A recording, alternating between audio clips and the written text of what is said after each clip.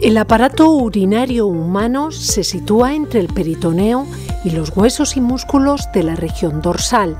Está constituido por dos riñones, dos uréteres, la vejiga y la uretra. Todos ellos trabajan para generar la orina a partir de un filtrado inicial de plasma sanguíneo y mediante procesos de reabsorción y secreción.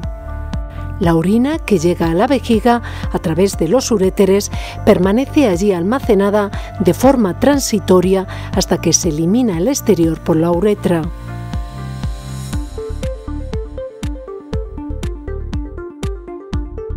Los riñones son dos órganos de color pardo rojizo. Están situados de manera simétrica a ambos lados de la columna vertebral, a la altura de las costillas décima y undécima. Generalmente el riñón izquierdo está más elevado que el derecho. Constituyen aproximadamente el 0,5% de todo el peso corporal y su forma se parece a la de una alubia. En la parte externa están recubiertos por una cápsula de tejido fibroso. La cara media del riñón contiene una incisión denominada ilio renal, por donde discurren los vasos sanguíneos renales, nervios y vasos linfáticos junto con el uréter. En una sección longitudinal se distinguen dos regiones, la corteza en la parte externa y la médula en la parte interna. La médula se encuentra formada por varias pirámides renales. El extremo de cada pirámide, llamada papila, se vacía en un cáliz y los cálices se vacían en la pelvis renal. La pelvis transmite la orina a la vejiga urinaria a través del uréter. Cada pirámide medular, coronada por una región de corteza renal, constituye un lóbulo sencillo. La unidad funcional del riñón es la nefrona.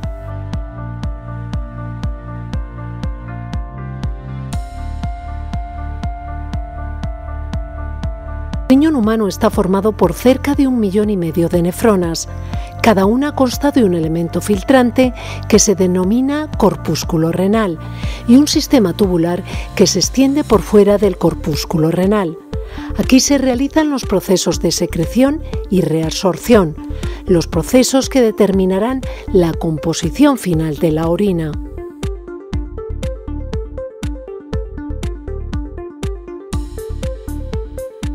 El corpúsculo renal está compuesto por el glomérulo capilar y la cápsula de Bowman que lo recubre.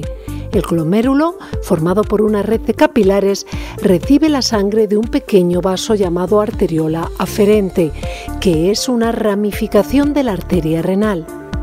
La sangre sale del glomérulo por otro vaso llamado arteriola eferente, que desemboca en una vena interlobular. El líquido filtrado pasa al espacio de Bowman.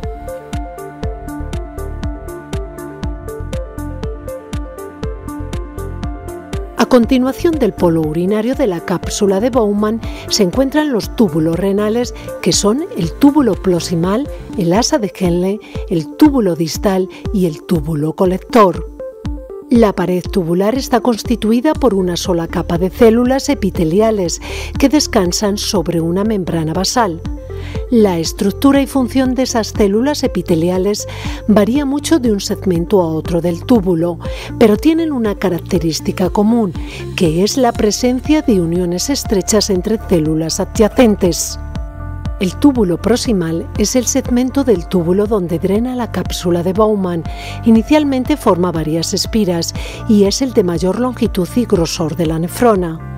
A continuación se encuentra el asa de Henle, que recibe este nombre por su forma de U. Consta de un segmento recto que desciende hacia la médula, la rama estrecha descendente del asa de Henle. Esta rama termina en la horquilla y entonces comienza un ascenso paralelo a la rama descendente. Seguido de este segmento se encuentra la rama gruesa ascendente del asa de Henle. Posteriormente encontramos el túbulo distal y por último el túbulo colector. Este es compartido por varias nefronas y vacía su contenido en los cálices de la pelvis renal.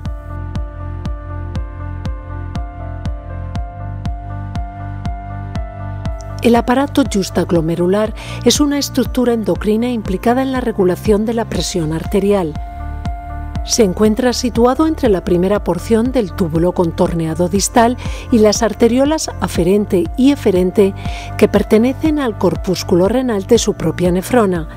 Está formado por tres tipos de células. Las células justaclomerulares son células mioepiteliales que rodean el final de la arteriola aferente. Las células de la mácula densa son células epiteliales diferenciadas de la pared del túbulo recto distal ascendente.